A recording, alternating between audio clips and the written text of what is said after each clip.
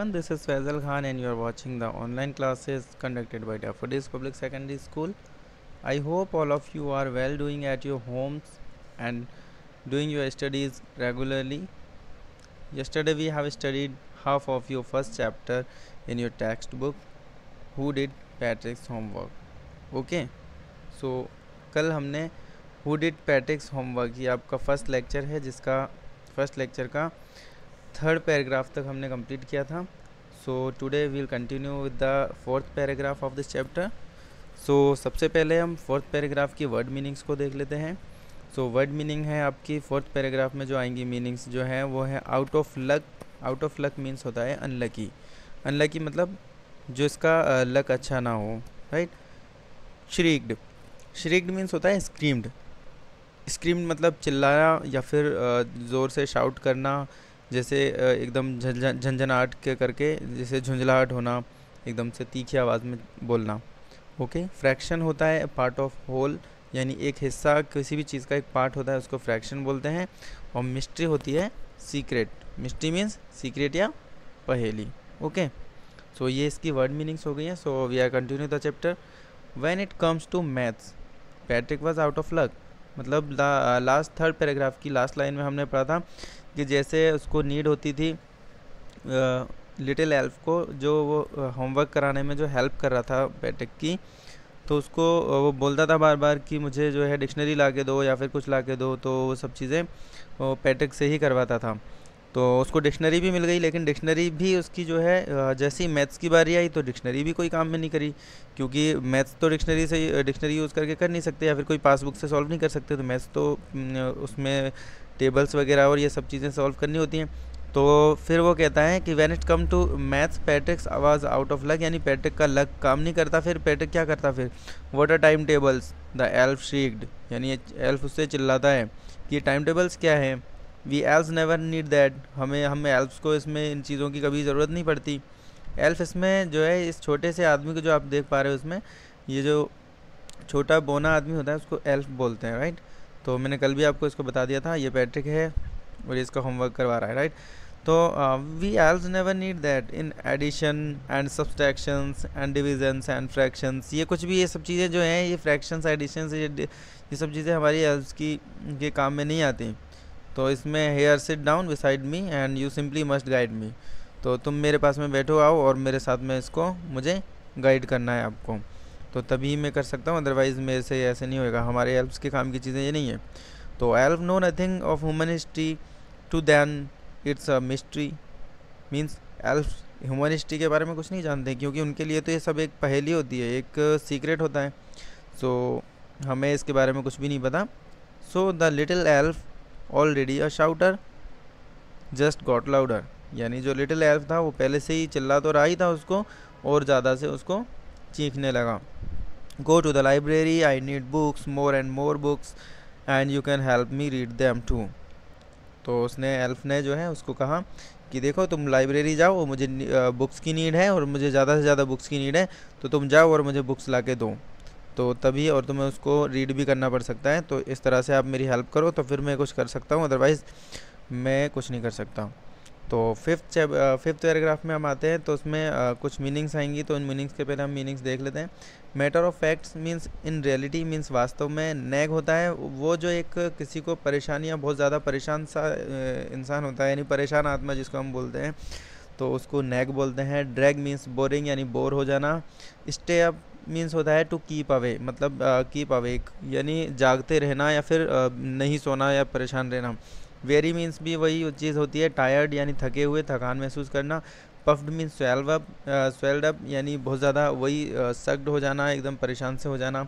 Blurry means eyes के लिए होता है ब्लरी आइज़ होती है, जैसे हम सुबह उठते हैं तो एकदम से आँखों से धुंधलापन दिखता है, दिख नहीं पाता है ना? तो वो ब्लरी आइज़ उसको बोलते हैं। सलीली होता है, अनसीन यानी चुपके चुपके, यानी चुपके से किसी चीज़ से कहीं से निकल जाना या फिसल जाना। तो जैसे हम फिफ्थ पैराग्राफ में रीड करते हैं तो वो क्या कर रहा था, बार बार उसको बोल रहा था कि तुम मेरे पास में बैठो और मेरा होमवर्क जब जो है तुम करवाओगे तो मेरे से हो पाएगा अदरवाइज़ हम एल्फ्स के बस का काम नहीं होता। तो एज मैटर ऑफ़ फैक्ट यानी फैक्ट के मैटर की तरह as matter of fact every day in every way that little elf was a egg यानी वास्तव में क्या हो रहा था? हर दिन पर दिन जो एल्फ है, वो बहुत ज़्यादा परेशान आत्मा की तरह होता जा रहा था।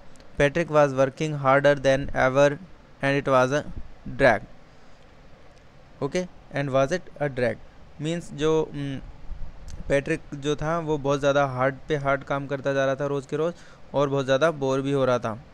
Then he was staying up nights had never felt so very was going to school with eyes puffed means जो पैट्रिक uh, था वो बहुत ज़्यादा परेशान सा हो रहा था और बार बार uh, जो है स्कूल जाता था तो उसकी आँखें भी धुंधली धुंधली सी रहती थी और थकान महसूस करता था।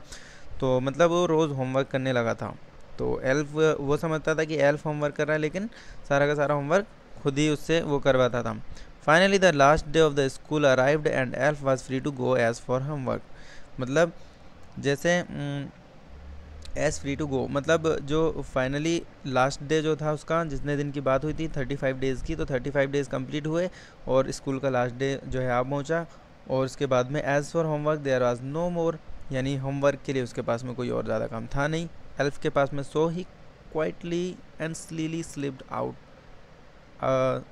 quietly and slyly slipped out to the back door मतलब जो एल्फ था, वो चुपचाप से, चुपके से निकल गया बैक डोर से। निकल गया। तो इस तरह से उसकी वो होमवर्क कंप्लीट हुआ। Then coming to the next paragraph on six paragraph Patrick got his as his classmates were amazed Patrick's को, जो पैट्रिक था, उसको क्लास में सारे के सारे सब्जेक्ट्स में ए मिलने लगे। एज मीन्स एज उसको ए ग्रेड मिली हर सब्जेक्ट में।